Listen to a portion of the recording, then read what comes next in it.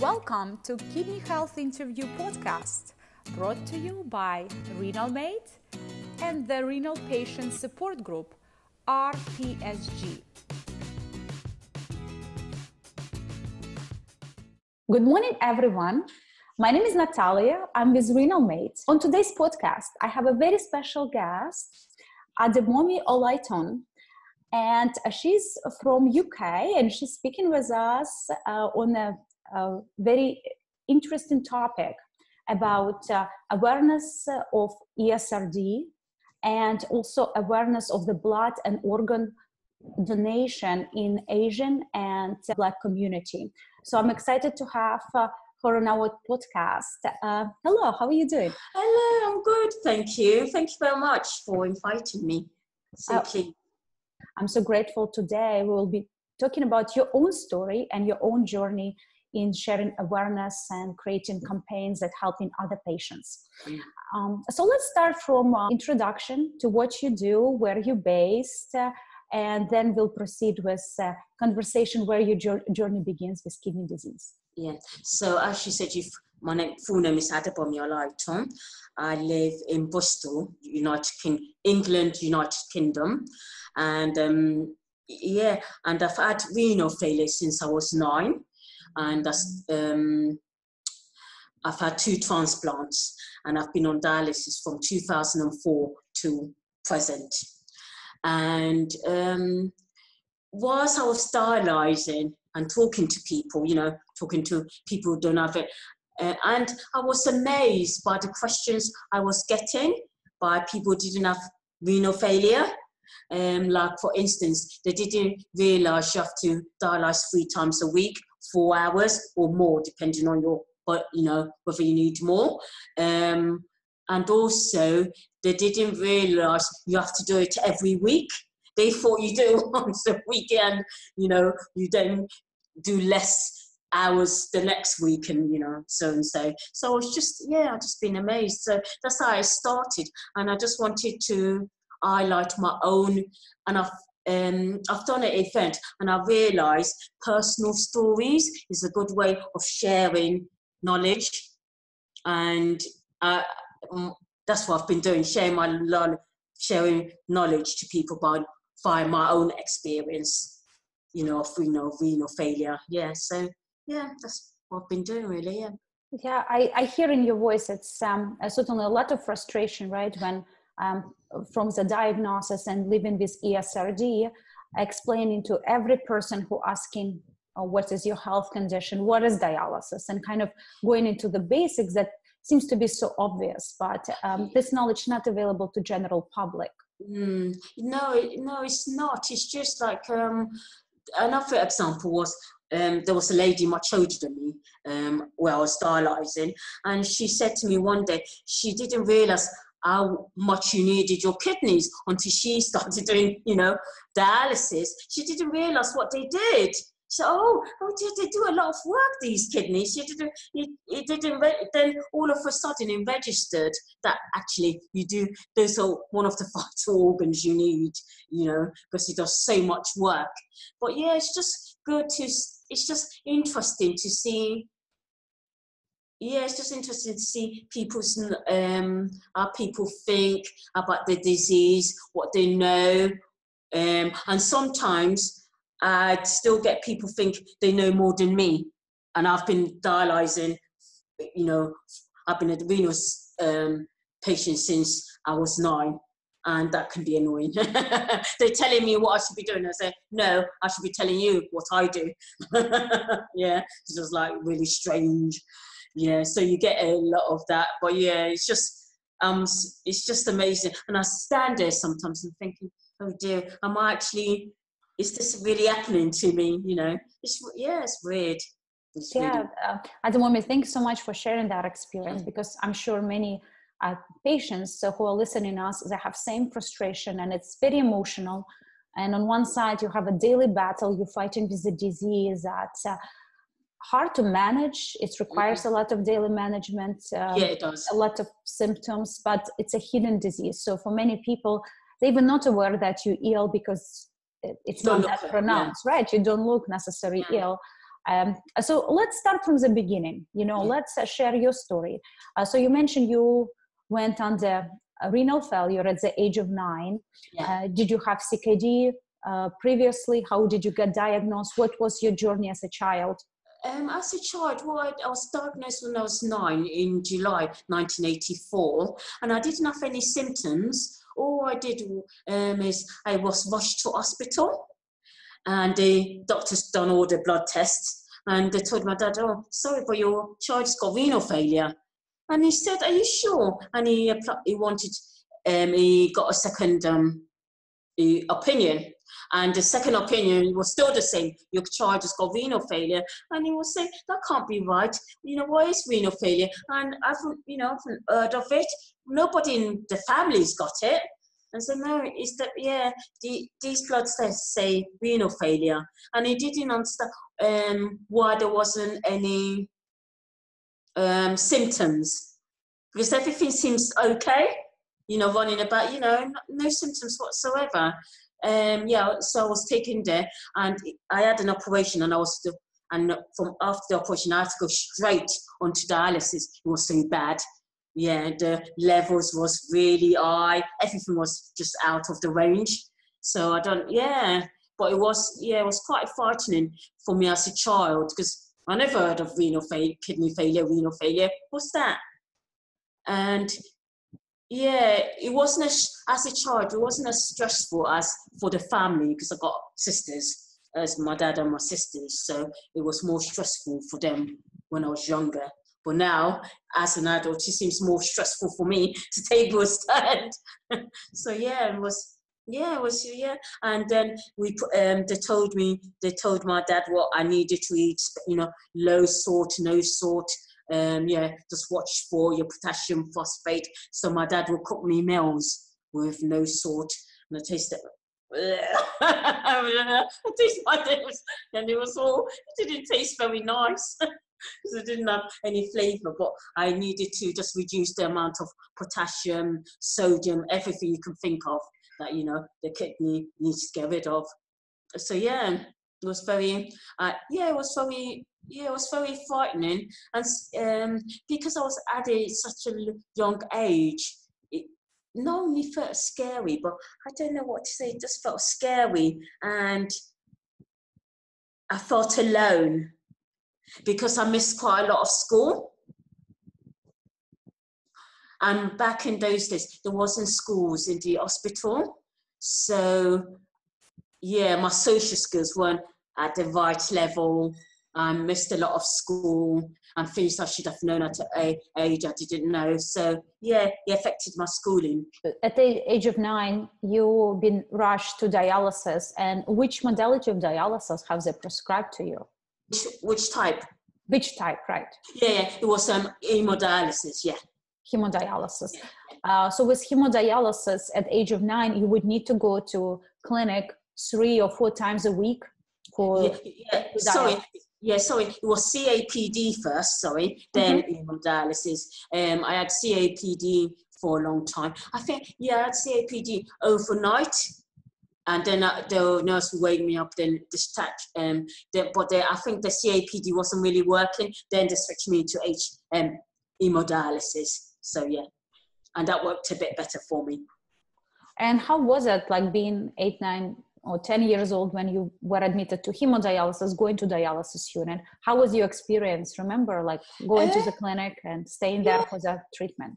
Yeah, it was really good. Yeah, I got on with because what's on it? I remember the unit called bus stop unit. I don't know why I remember the unit's name. Out of what anything you should be remembering, I remember the unit, and I remember the ward was Dickinson's ward. So in Guy's Hospital, in you know in London, England, United Kingdom. Yeah, so um, I used to do it three times a week. Uh, week. Um, the nurse used to take me there, and then the, I'll be um, taken back to the ward. Whilst I was there, I met different people around my age because it was only a small unit. I think it was only about six of us on there. So yeah, it was quite cozy. It's quite yeah small unit, and it's funny because the machine we used to use there and now is so different. Because if you were to use see the machine I was using back in the days and the machine now, you see you think it, it was from another planet. It was so different. it was really bulky, and whilst these ones are a bit less bulky, they're a bit less bulky. But yeah, so funny when you when I look back on it. yeah, um, that's, kind of, that's really fascinating, right? Like when you're a child, uh, how your memories and perception of things form. Um, especially being in that clinic environment for so long yeah, in hospitals. Yeah. Um, so you mentioned that treatment and school balance was not necessary there and it was quite challenging for you as a, a young teenager then going through school and managing your dialysis or being out of um, a school for your surgery um, so how did you overcome this was there any point that things got a little bit better or uh, things were quite challenging for entire time in uh, school um, when I, because I was di- diagnosed with renal failure when I was nine, July 1984. By the September, I had a transplant, so everything seemed to go back to normal. But that um, that transplant lasted until um, I think about April to April 1987, and in May I had my tran- another transplant, which yeah, which much was a bit more longer for me to catch up. But yeah, it was yeah. So um, yeah, I just uh, yeah, I just remember feeling because when I did start school, I just remember feeling not able to fit in. Yeah. Why so? Why so? Did it just need time or just frustration? It's just, you do, it's just the social skills. I just realized I just wasn't fitting in. Um, yeah, I just didn't I didn't feel I fitted in in terms of able to make friends. Um, I mean, you know, back in those, you know, children are like they want to be liked. Um, yeah, just unable to meet pe- people that are you meet somebody. You can meet somebody even as a child. You can meet somebody, another child, once, and do you like them? And didn't get that at all. Yeah, just nothing. I just felt empty. It's just I felt empty. Yeah, very sorry to hear that. I'm sure it yeah, was, felt empty. It was difficult, right? Just dealing with your struggle as a disease, but then overcoming like the social environments and yeah, yeah. not finding necessarily that you know support uh, mm. is hard. Uh, but then finding friends it certainly helps, right, to manage um, those barriers in social mm. life and uh, uh, so uh, when um, i'm just trying to get the chronological order to understand your story better uh, so you've been rushed to dialysis and then within a few years you received transplant at what age did you receive your first transplant oh uh, yeah i received it when yeah i received it when i was nine because I was diagnosed in the July. In September, I had the first transplant. Ah, okay. So that's how so you started begins. You mm-hmm. got that trans. Uh, you went to the dialysis, but then you were able to receive transplant. Yeah. And it lasts you a number of years. And yeah. what happened after? Uh, did it fail? What was? Yeah, yeah, it failed. It failed. Yeah. But the but second time lucky from May 1987 to 2004, eh, I had a good running with the second kidney. So yeah. Uh, so tell me more about your organ donors. How did you receive, uh, you know, your first and second kidney, and who were the organ donors? Yeah, the first one was a deceased one. Um, I don't remember. The, the only one I remember was the second one. It was she was deceased. I think she was thirty, and she, um, she had epilepsy fit or something. Yeah, which she I don't know which she didn't recover from. I don't know. Yeah, so yeah, and uh, but otherwise she was in good in terms of organ. She was in good condition. Yeah. Yeah, it's such a big difference receiving kidney from uh, uh, patients who are healthier, younger, uh, because kidney can last years mm-hmm. and years, like up to 30 years. Um, and uh, with that, uh, how many uh, kidney transplants have you received so far through your lifetime? Um, um, two. I've received two. The next one would be my last because um, I'm only 4'11. So uh, um, the doctor said they kind of ran out of place to put the fourth kidney. If I, yeah, there's no fourth kidney. It's just another third, last kidney, which will be my third. Yeah, I'm only, yeah, I'm only four eleven. You know, I'm very short, very very short. Yeah. So yeah. Yes. Uh, so what's the process in general when you um, looking for your organ? Um, you know, for kidney donation. Uh, how do you go about it? Was it something that just a hospital find you as an organ donor, or did you need to do a campaign? uh, to look for your kidney? Oh, um, the, the yeah in a, in the um in United Kingdom the NHS they look for it and match you up. So yeah, um, and but they were saying with me that um, I what I have been called for two you know kidney offers, but when I they explained it, I said, oh, it's all right, I don't need those ones because I didn't feel one of them was too old which I thought, because I'm only 43. The person was 60. The second one, they were saying they needed to check for malaria. And I said, oh, no, no, no, no, I don't want that one. And but they did tell me, my consultant has told me, since because of the previous transplant, you know, you build up antibodies, so the match on the deceased register is not going to be as, it's not going to be that good. Yeah yeah there are you know just statistics of uh, receiving kidney for live donor versus deceased donor. Yeah, yeah. And, uh, going through such a complicated surgery and putting so much uh, trauma in you know, terms of like emotional and physical going through organ transplantation is hard. So no wonder you're always looking what will be the best choice and if yeah yeah yeah yeah. Uh, and also um if one one previous um, one of the patients who I used to dialyze with, he, he decided to take a damaged kidney and he died. Oh, yeah. Sorry to yeah. hear that. Um, yeah, it's just, uh, you know, it, yeah. And uh, for example, in United States, um, we're based in California and we have a long waiting list. It's oh, around yeah. eight years and for some people even 10 years before they uh, get the kidney even if they qualified.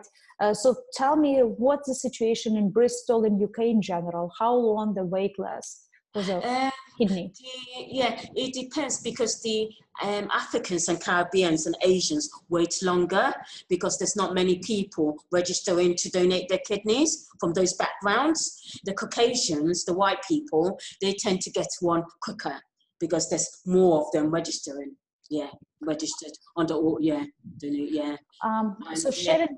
with an ethnicity background, uh, tell me more about, uh, uh, do, does a kidney, let's say from Asian uh, a donor wouldn't be the right match for the Caucasian or uh, from Caucasian to, uh, you know, African ethnicity, does this, does this matter? Is it matter? Uh, yeah, because what you want to do, uh, you want to, what they like to do in the NHS, they like to, if you're Caucasian white, they want to give it to another Caucasian. And if you're, um, and it, it's be, because there's been, the NHS said, as said, is better match, and they seem to work much better when it comes from your ethnicity. You can, you know, I can have it from a white you know, Caucasian person or Asian, but it's better to match everybody up with their own race. It's just, yeah, it's just like things like um, um, bone marrow transplant. He has to come for. So if I, if one somebody I know um, had a bone marrow transplant, she's Caribbean, and a sister donated, he had to come from a black person. He can't come from a Caucasian Asian. He's it works better. And that's one of those, I think with the bone marrow transplant, the, you need to definitely get it from your own race. With the kidney transplant, it can still work well, you know, you can still work well, but they, the NHS really like it from to get, match it up with your own race. Yeah. Yeah, yeah that would be interesting, right? To talk with a scientist, maybe with uh, Shahid Muhammad, we can talk about this topic. Um, I'm just really curious because uh, and certainly you know when the wait list is so long and seeing you know what's available and some ethnicity have to wait way longer um, and i'm really not aware what the situation for you know different ethnicities so tell me what's the situation for uh, people of your ethnicity asian ethnicity since you are the advocate for organ and blood donation for asian and black ethnicity? Um, well, we wait the longest. Uh, yeah, the yeah we wait the longest. Yeah, we just wait the longest, and with the Caucasians, um, the Caucasians, what they tend to do is, um, since more of them are on the waiting list, you know, they said, oh yeah, when I pass away, I like to donate my organs. They get it quicker than yeah. That is really what it's about. So it basically is it all depends of the number of people who have put themselves forward on the way uh, on the um, organ donation to donate. So obviously, if you have more black people, African people, Asian, then it's likely some patients are black patients, Asian patients will receive an organ quicker. So that's what it's really all about. Yeah. Uh, so I'm just curious in terms of population in UK, same as the United States. So when we're looking for different ethnicities, uh, just by the numbers, you know, Caucasian would be higher in a percentage that, Yes. uh, you know, people from Asia, people from Latin America, people from Africa. So how does it work? Uh, is it still just very much dependent from right just having that ethnicity and uh, if the population only three or four percent of the entire country population so certainly you have a very smaller amount to expect to donate timely Yeah, I mean, in because I live in Bristol, it's got a small amount of um, African, Ca- Ca- Asian, and Caribbean, but in London, it's got a higher percentage. And then you've got Bradford, which is up north, that is predominantly Asians. And in Birmingham, which is up north in England, that's predominantly Asians. So if you were to think about it, if you were to think that all the black people in London were registered on the, you know, organ donation list, and and yeah, places with the high per- percentage of um, black, you know, black Asians and Africans. If you were to Caribbean Asians and Africans, if you were to think London is gone and all those people in those cities, you can never know. It might even make a big difference. The small amount of people in those cities might e- does you does definitely make a difference. And also, um, you need to people need to remember is with transplant, especially with kidney. Um, I don't know about any other organ. Um, you can have more than one kidney transplant. You see.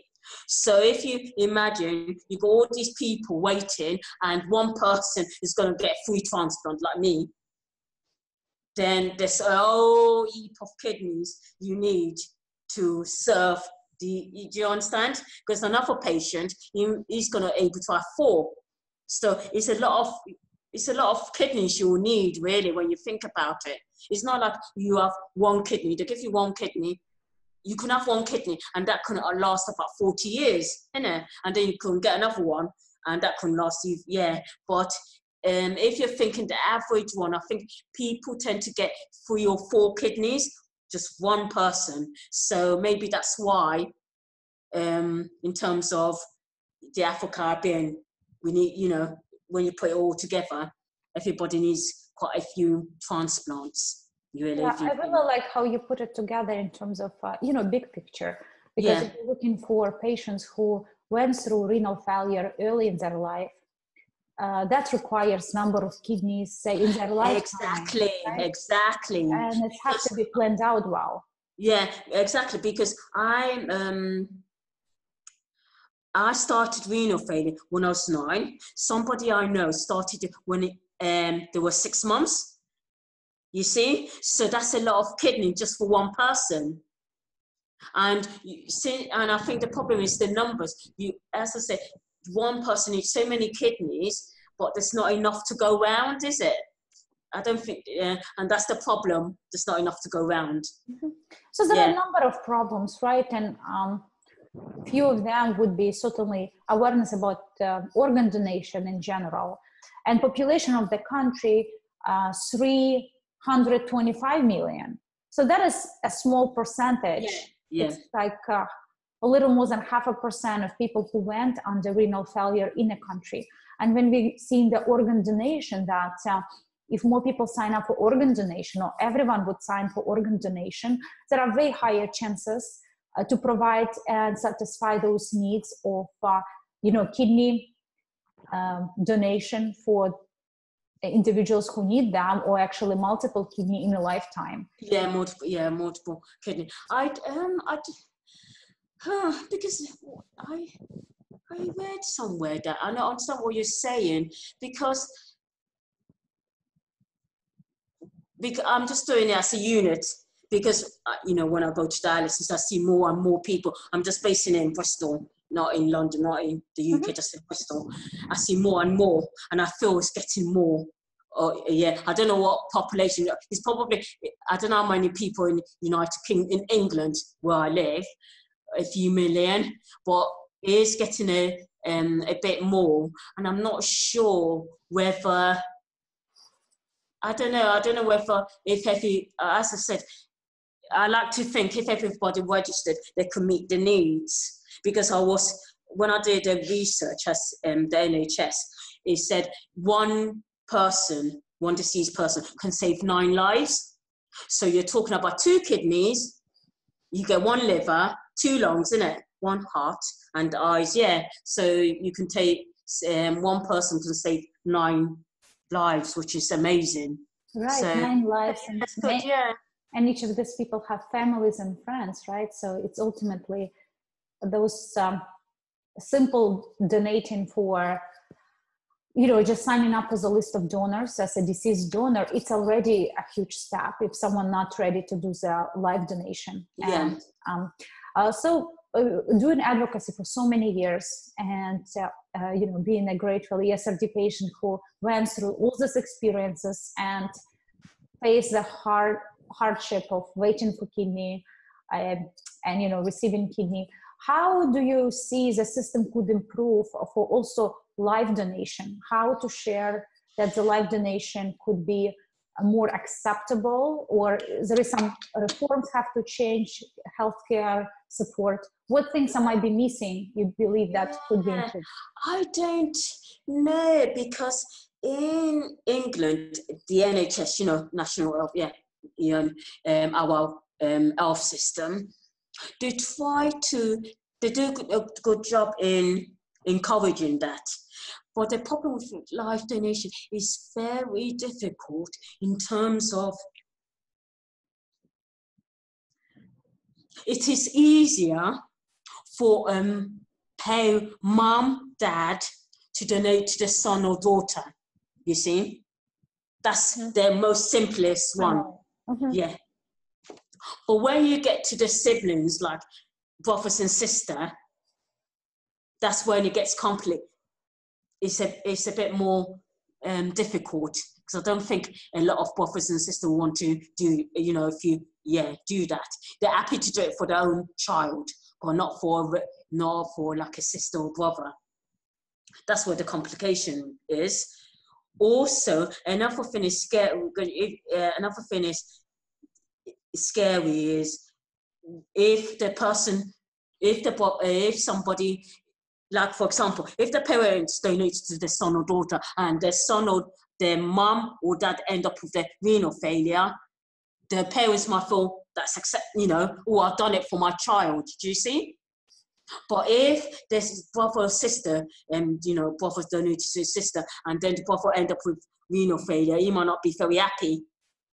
You see, so is it, it just, and that's what I'm realizing it's yeah with yeah with parents don't blink an eyelid they love their child to the moon and back mm-hmm. and um or yeah so and also um the nh because i know is it israel i think i was looking reading in an article that israel they've got this they've got quite a good is it living organ system going on um i don't know um, I've, um I only read clips of it, but I'm not. Yeah, it's just I don't know because in England, United Kingdom, when you do a living organ donor, you're doing it because you want to. You've read the information, you've asked the questions, you've done your own, you know, the donors done their own research, and you and um, they know the risks, and they don't get any money. Of course, yep. Yeah, and in other places, in other countries, they do it. Um, oh, uh, they, I think they do it in terms of money exchange. But the problem with that is the I don't I'm not sure if the NHS are keen on doing it like that because they're fighting that the donor wouldn't give all the full medical history. So, for example, if I were if I was getting paid to donate somebody a kidney, I'm, and if I started being unwell, I've had all my blood tests, and a month before the you know operation, I started feeling unwell. Da, da, da, I might not tell the doctors or nurses because I want that money. So not only are you put the donor, they're putting themselves at risk because they just want money. So that's yeah, it's very yeah, it's not something I'm not sure how keen the NHS want to, you know, yeah, because it's all about doing it because you want to. Yeah, yeah, so you touch number of issues right in this topic of the life donation. Mm. Uh, so when we look in donation uh, between family members, uh, that is a decision among family members if yes. someone willing to donate, and we often see whether parents, whether kids want to donate to their parents, vice versa. Exactly. And then all other connections in family can also lead to the donation. Yeah, yeah. Um, and if someone a perfect match, that's excellent. Uh, but very often, you know, some of family members cannot donate uh, for the reasons of. Uh, uh, you know, other underlying condition. No oh yeah, yeah, yeah, no, yeah, yeah, And sometimes, right, emotional, they're not ready, and that is something you know we cannot ever pressure any organ uh, donors yeah, exactly. decisions if they're not comfortable with so yeah. then uh, because uh, uh, sorry, I wanted to touch on something. Um, I wanted to touch on something because um, I was reading. I was in America. I was in America, and I know you got Medicare, and if you're working insurance, that's what it's based on. Unlike in England, where you put everybody put a money, a pot of money together, and um, we got the NHS when I was um, reading an article um, that a few people, it was, in fact, I was really scared. Um, one of them is, he said he donated and he didn't seem to get the care from the doctors and nurses. And um, what it was supposed to happen is the person, the recipient, was supposed to be paying for the medical bills of the donor, of the yeah, of the person who's going to do, donate, but it didn't happen. And yeah, and yeah, um, and also the donor wasn't treated very well by the medical establishment. It was yeah, it was really other stories. Yeah, it was really bad. Was it in UK that experience? Um, no, no, no. It was in America. In America. Yeah. Yeah. Um, right. So I think it's just um, you know going back to like a donor experience, right? Uh, because if you're looking for strangers or let's say friends who want to donate kidney, that has become that experience there. What can you provide for organ donors to be more comfortable and mm. making that decision on their own, but also providing the best care, the best accommodation, because that is incredible gift of life. So it's really interesting that a system itself in process improving things, but things may not happen in fast as is supposed to happen to really encourage people who want to do life donation to receive all necessary uh, support and care at that time when they donate an organ. Um, yeah. Uh, so in United States, we have few things that right now improving rapidly, and we are very thrilled about it. Um, it's some of them are still initiative stage but the biggest part also the mindset how to provide the system but also how to provide enough education to give an opportunity for the people who consider considering organ donation yeah, yeah. maybe to do a simple test and just yeah. assess maybe now maybe later in your life you want to d- decide to do this mm. um, another uh, things that i really like to share awareness about organ donation at least in the united states and I believe it's similar in UK, any organ donors, if in any time in their life they have kidney failure and they donated kidney previously, they get on the top of the list. Oh yeah, that's the same in England. Yeah, yeah, yeah. So yeah. that is also very important to share, and mm. it happened very rare because when someone wants to donate their organs, they're gonna get tested. They're gonna be tested for every oh, yeah. disease condition. Yeah. They need to be in the best health that possible. And sometimes many people just don't qualify, even if they're in a good health whether yeah. their weight, blood pressure. So that's why it's usually people who donate, they're already very healthy and their kidney are healthy. So yeah. that's actually good assurance for these yeah. people thriving to the rest of their life, even living with one kidney. So yeah. what's your thoughts on it? Um, well, funny enough, one of my friends, she put herself forward to donate me to be a living organ to be a living organ donor for me, but she wasn't suitable. And it did make me happy when she said they very they look at they're very detailed in what they do. So I felt comfortable that you know they wouldn't have you know allow her to go through it unless she was suitable. So yeah, I do understand it is very detailed. Um, I think also, but one thing I think, whether their organ is deceased or alive, one thing I've learned from our campaign is that um, people, we're all human beings and we're selfish. So what I've learned is, P, um, and it's become obvious when I've been doing the campaign, that people were happy to receive it, but they weren't happy to give it. Yeah, it's uh, it's hard, right? Um, and I think the big problem I think was organ donation is awareness. As we yeah. spoke at the beginning of this conversation, there is such a little knowledge about what is kidney disease, what is the role of kidney, and how greatly people suffer mm.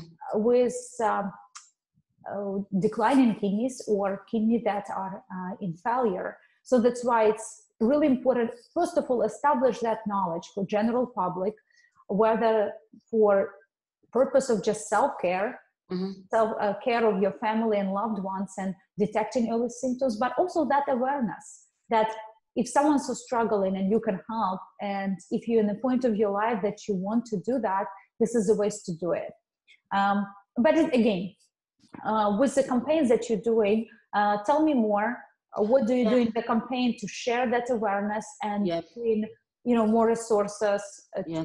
ESRD patients um, this campaign is called the Rebel with a Cause. It's just um, I'm doing. I'll be doing a radio program. I'm, I'm, just training at the moment how to drive the desk and all that and present. And I'll be doing a monthly radio program on Ujima Radio 98 FM, and based in Bristol, England, United Kingdom. And it's all about just having, uh, you know, open this sort of conversation, um, but face to face, really open and honest in, um, discussion about what what what is lacking? Why why are people in a certain mindset? How do we give people more information? How do we is there enough way of raising awareness? What are people's concern? So it's just different topics and you know why why we're in 2019 okay? And we're still debating organ donation.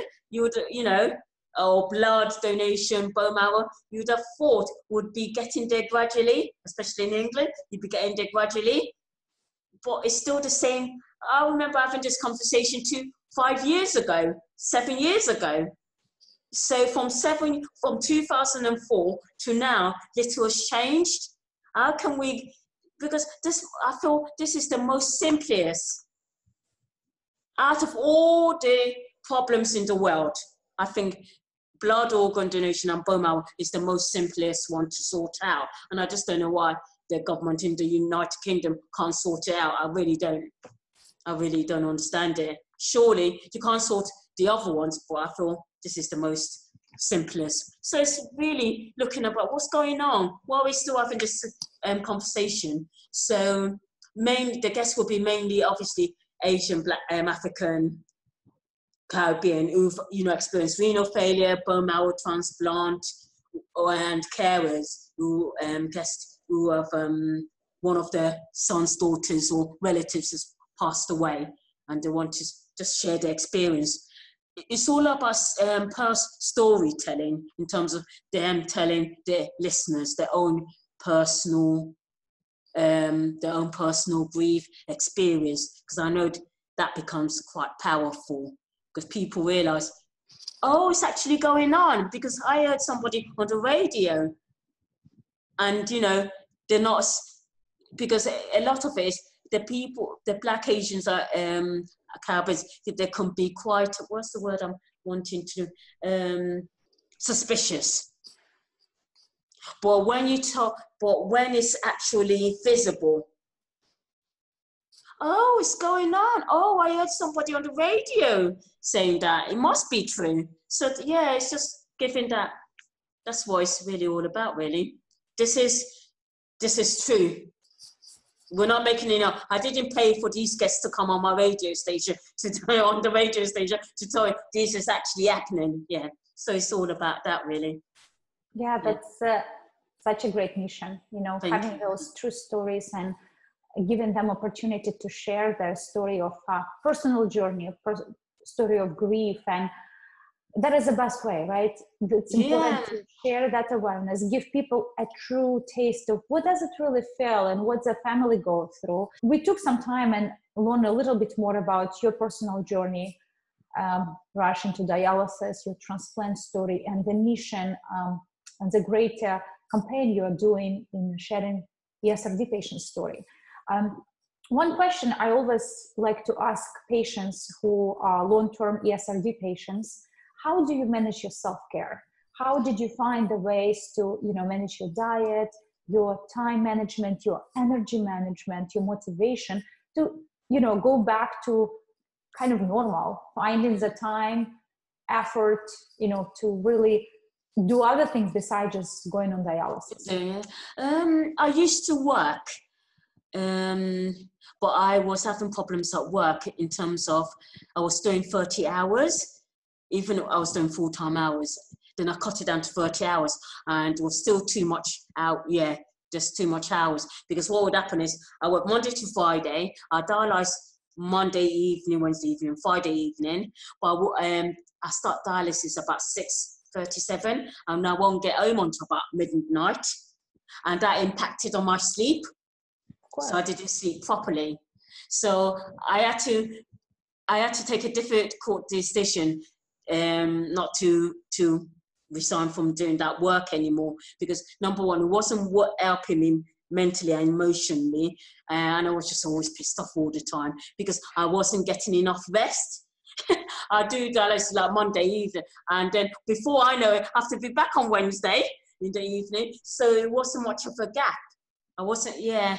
So I um and so what I decided to do, I decided to start volunteering rather than sitting at the, you know, just going to dialysis, come home and not doing anything. I decided to start volunteering for Ujima Radio, and that gave me confidence, experience, a purpose I don't know if you understand that. It gave me a purpose to live. Um, so yeah. it was it wasn't all about oh oh Wednesday I need to do my dialysis again. I had a I just thought I had a purpose on this planet. It sounds really weird, but that's the way I thought. I had a purpose on this planet um, to volunteer with Ujima to you know put my time in, make it good, make the you know radio station good. And from there, that's when the campaign started. Because uh, I was thinking, and because one of my friends suggested, one, the lady who was volunteering in Ujima, she, oh, so why don't you start a campaign? And I said, campaign on what? How about your story, you know, renal failure? I said, hmm. Oh, I, don't, I was, oh, I don't know if I can tell my, per, you know, because, but you know, when you talk, your story it's personal, it's private. And he said, but how else are you going to get awareness?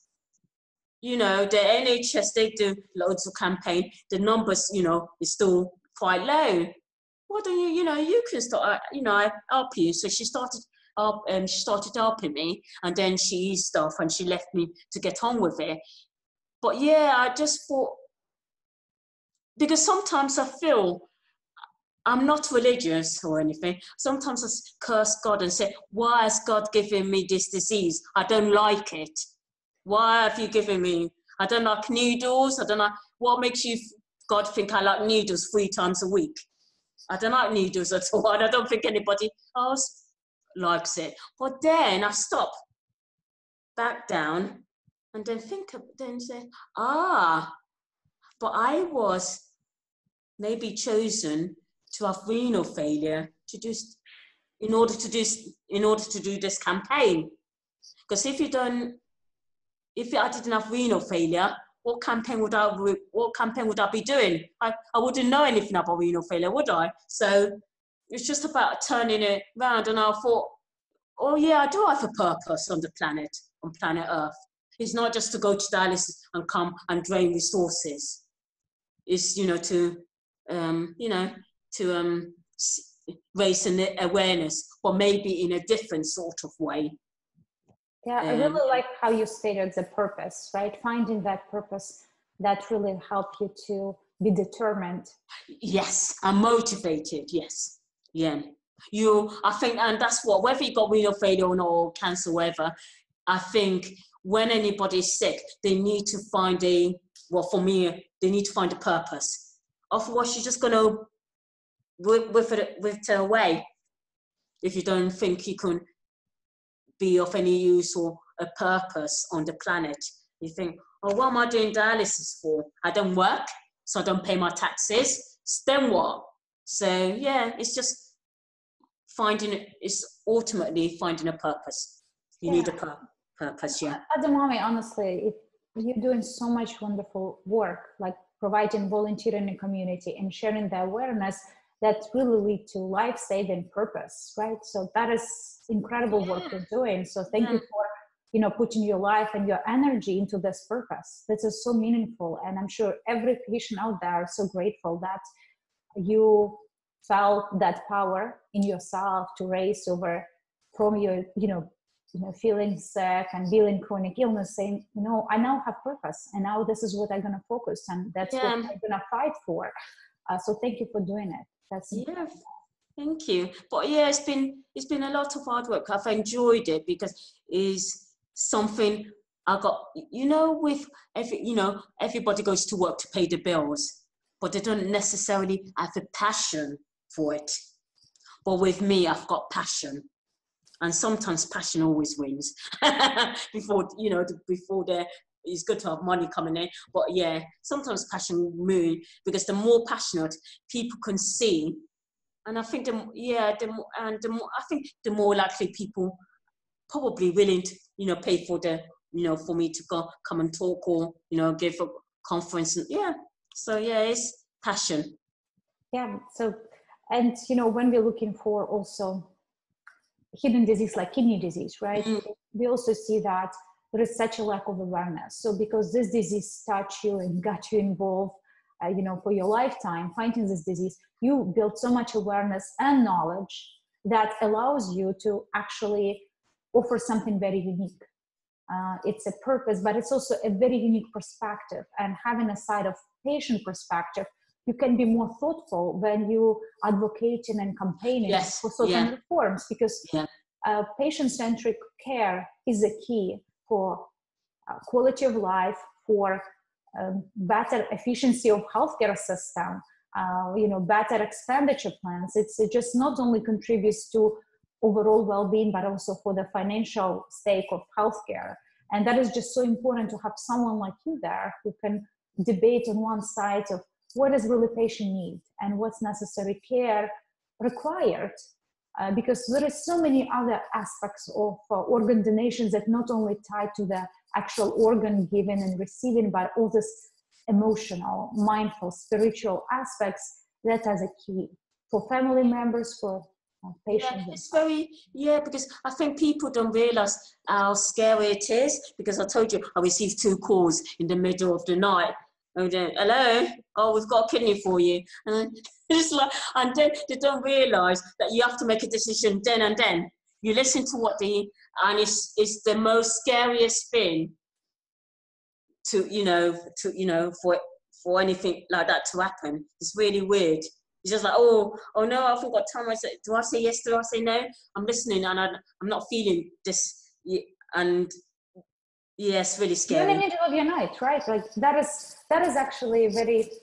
I've heard a couple stories about people who were waiting ten years and then they received this call in the middle of whatever happening in their life, yeah, and they already moved on with life and live on dialysis and expect that as their new life, and then they receive this call, and you're never prepared.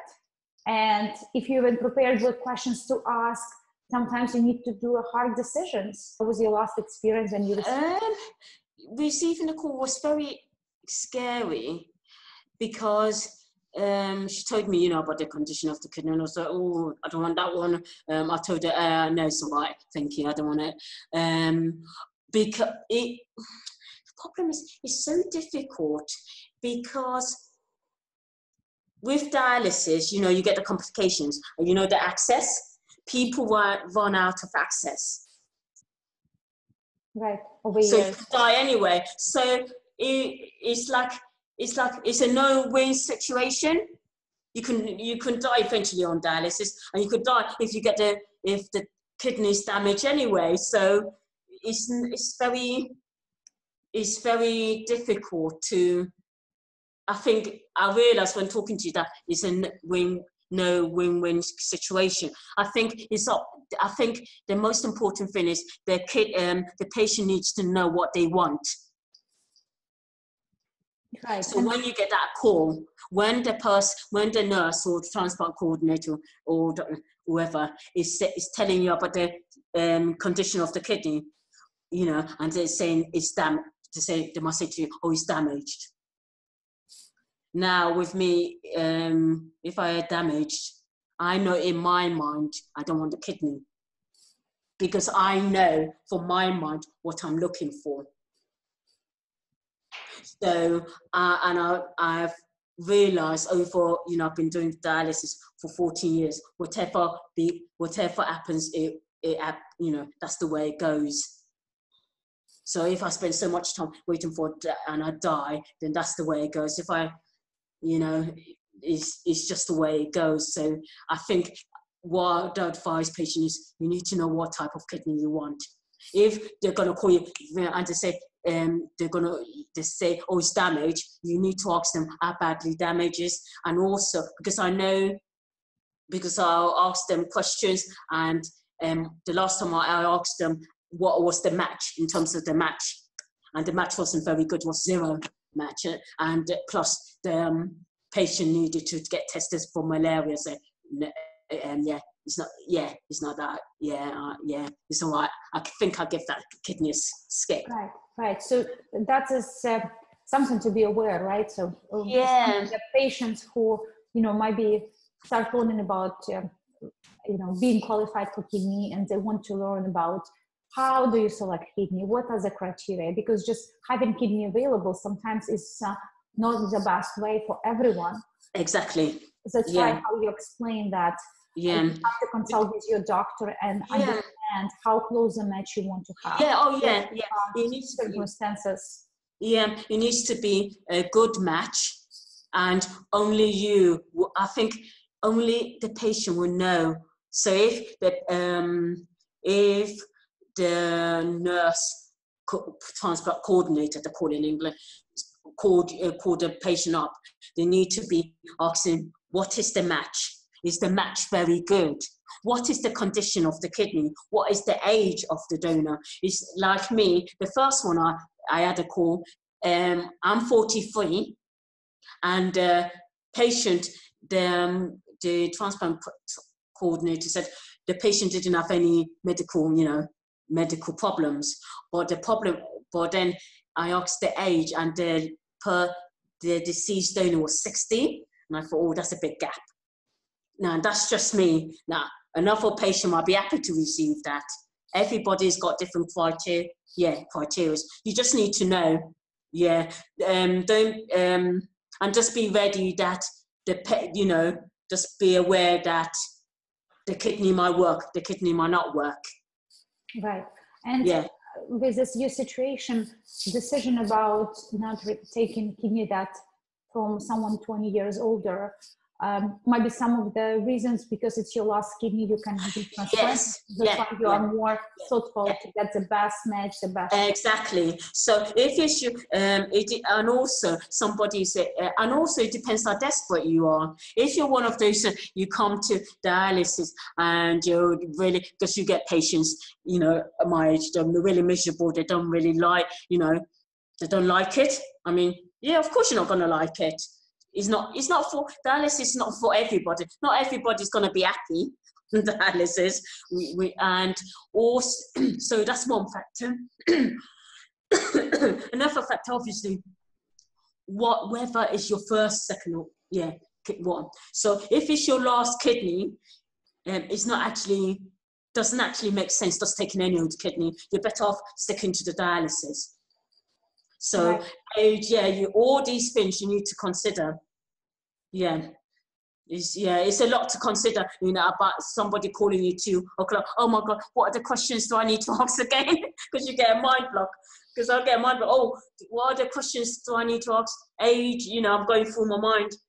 Because you have to say yes or no in that conversation, isn't it?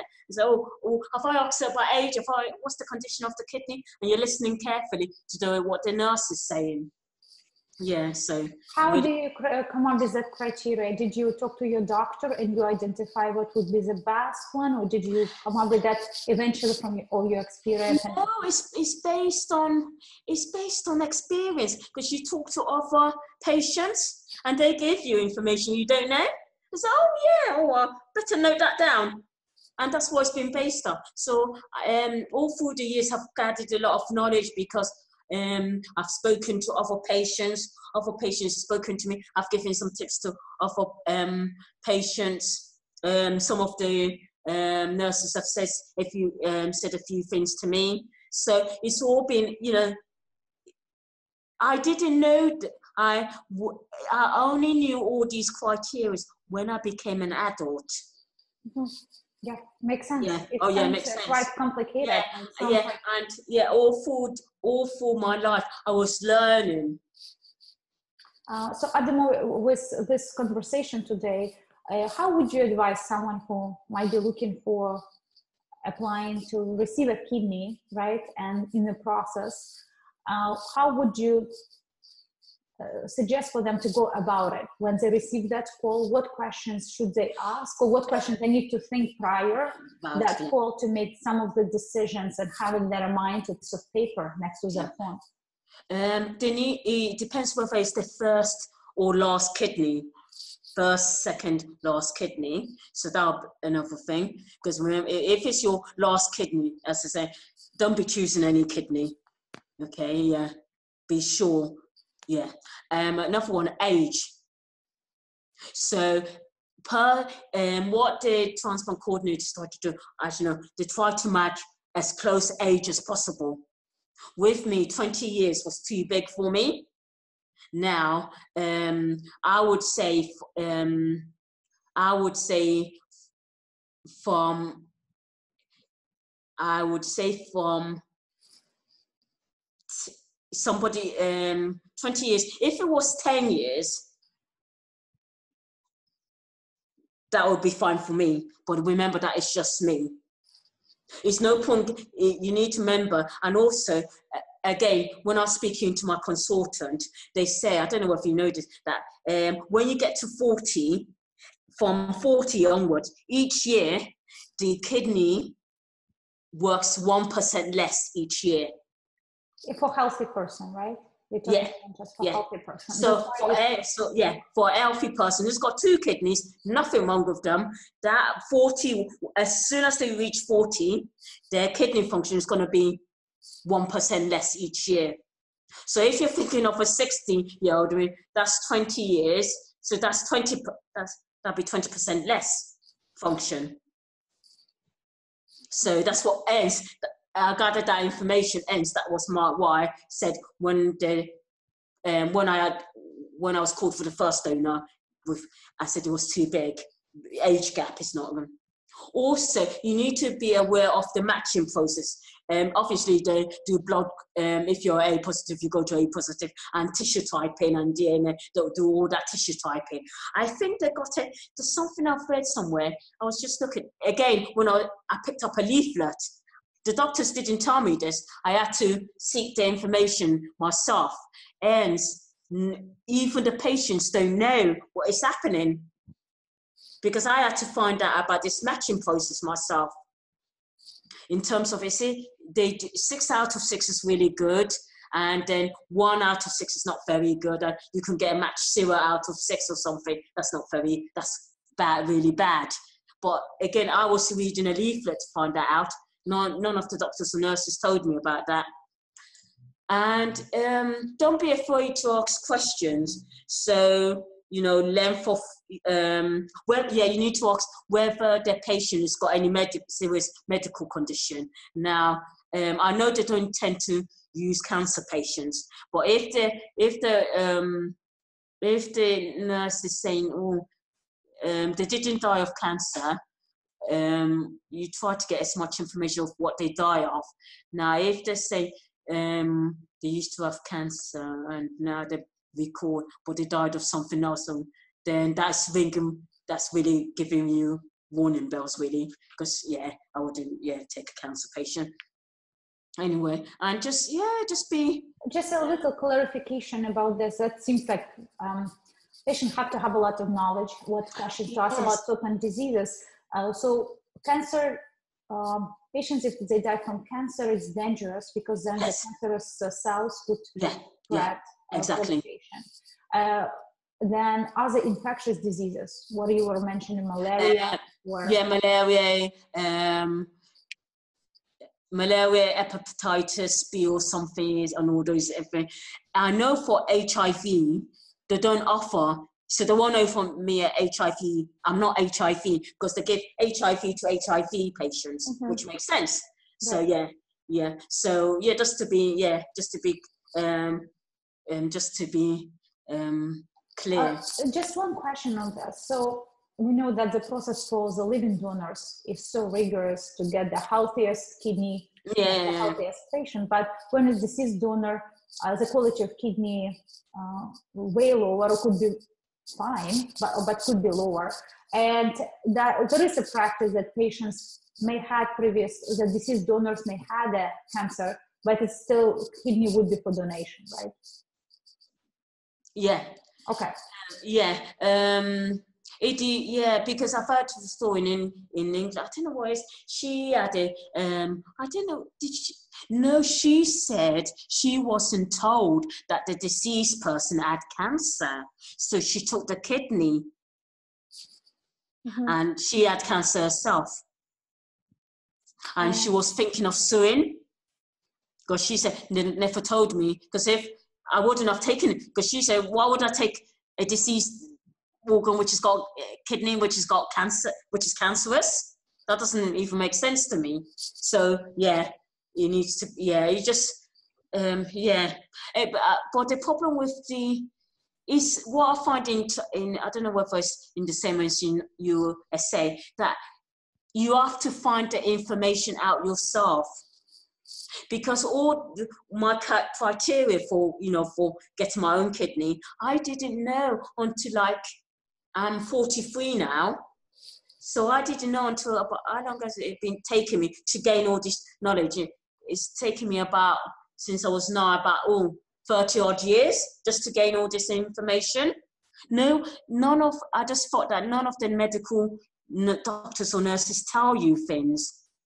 It's not like oh this is the way the transplant works. Okay, they give you a leaflet and you read it. Oh, I know about matches because I have to be do do do. It's not like that. You have to find it out yourself.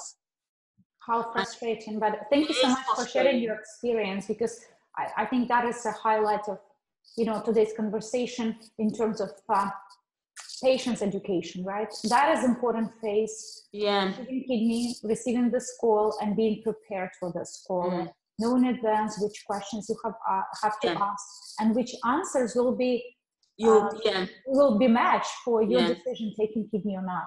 So at the moment, thank you so much for sharing your knowledge because thank you. That is fantastic for someone who may have less information, less experience as you do with ESRD to have that access. And we'll again share your information so people can reach out to you directly and then you can advise them uh, with your own experience, uh, you know, individual conversation. Um, so we are wrapping up today's call, but it was such a pleasure to connect with you. And you. And it was so nice to learn about your story, to see how dedicated, how passionate you are, and also see how much knowledge you have. So I'm so excited for your upcoming campaign because yeah, thank you. It's going to be very successful. Oh, thank you. I hope so. I'm pretty sure about this. Uh, just you know, in wrapping up this conversation, do you have any uh, last comments and recommendations for ESRD patients in their journey? Yeah, um, a good um, there's um website which, which I've joined is um, renal support patient group. It's on Facebook. And, yeah, uh, yeah. And what I like about that is got it's not only got it's got oh, you got patients with different experiences. So if um, people if people are listening and they want to get oh different different different experiences, oh I got that, I'm not sure what somebody else has done. That's a good one to go to Facebook. Yeah, so that's a good one. You've got people from America, all over the world, and everybody's got different experiences. And you're able to see, oh, would I able to do it their way or do I need to do it? Yeah, so that's quite good. Um, also, um, I'm on Facebook and Instagram.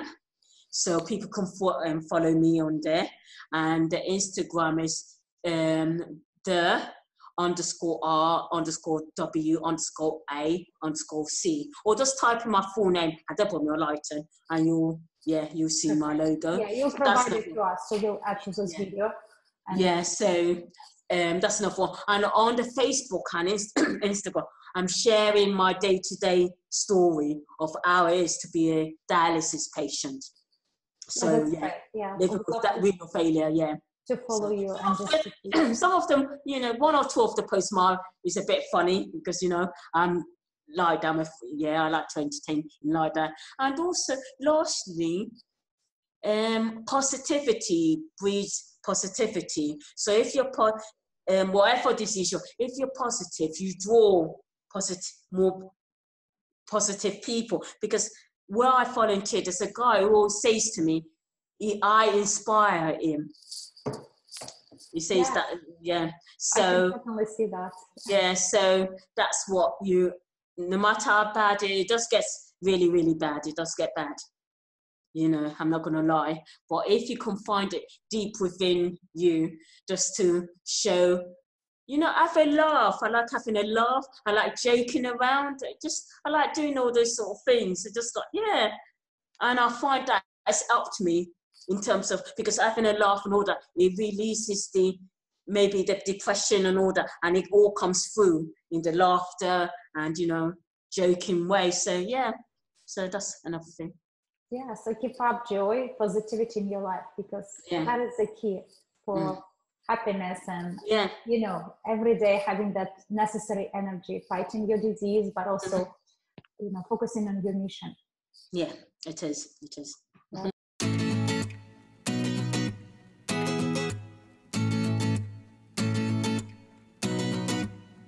At the moment, also you mentioned that you're working on the project and campaign, and you have your uh, great team with you. So, do you want to tell a little yes, bit more please. about them? Yeah, that, thank you so much. Um, I, have got Ujima Radio, who are based in Bristol, 98 FM. They promote Afro Caribbean music and culture, and obviously I'm doing it with them because obviously black and um, African and Caribbean we've got a big problem with organ donation. Um, um, and I forgot, and a few other ones are um, Code of the Streets, um, So to So, and City Rockers. They all got shows on Ujima Radio, so if you want to, you'll find them. I also got Up Our Street, their magazine based in Bristol, and they, they do different. Um, they're very well connected with the Somalian community. Um, also, Give a Kidney One's Enough. That's a like independent group in England. and it's all based on people who have actually donated one kidney living yeah. So if you're thinking of being a living organ donor and you want independent advice they're the one to go what they based in england um, england. It's good to have a, um, a different range of, of people of organizations um, you can talk to. And then lastly i've got an organization called cas they deal with um, um, people with mental illness, especially within the Afro-Caribbean, you know, um, um, communities. And I want to thank them very much for their support. So uh, yeah, much appreciated. Um, sorry if I've missed one of them. I, have got so many of them, so sorry if I've missed any of them out. But yeah, I'd like to thank them very much. Yeah, thank you so much. Uh, thank you so much to you and to your team doing such a fantastic job for ESRD community. Thank you very much.